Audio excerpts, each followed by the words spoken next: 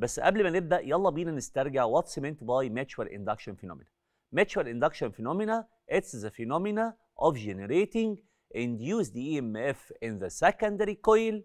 when the current in the passing through the primary coil changes طيب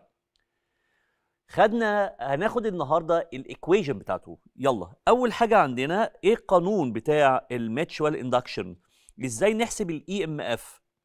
اول حاجة بيكون عندنا الرسمه دي شرحنا عليها الحصه اللي فاتت وهي برضو بدايه شغلنا النهارده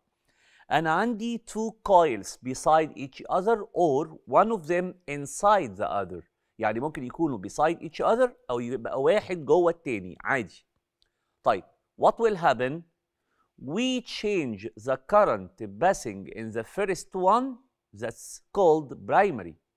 what will happen induced EMF will be produced in the secondary يبقى انا عندي دلوقتي at the moment of closing the switch or opening the switch the current passing through the primary changes so induced EMF will be produced in the secondary coil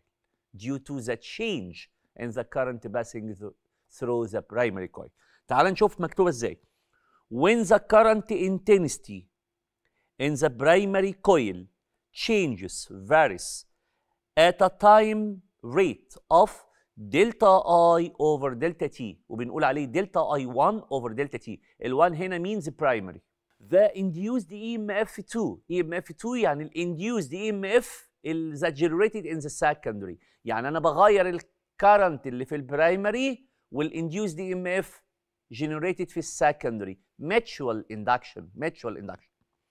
in the secondary is directly proportional to the rate of the change in the magnetic flux through it طيب يلا بينا بقى نطلع الايكويشن هنعمل deduction deduction للقانون اول ستيب how we calculate the induced EMF in the secondary number one EMF2 direct proportional to the rate of the change in the magnetic flux that cut it يبقى delta phi 2 over delta t number 2 delta phi 2 over t اللي هو rate in the change in magnetic flux direct proportional to the change in the current passing in the primary coil يبقى so delta phi 2 over delta t direct with delta i1 by delta t طيب from 1 and 2 يبقى we conclude that EMF direct with delta I over delta T through the primary coil. sequence روعة يبقى ال EMF direct مع الدلتا فاي over delta T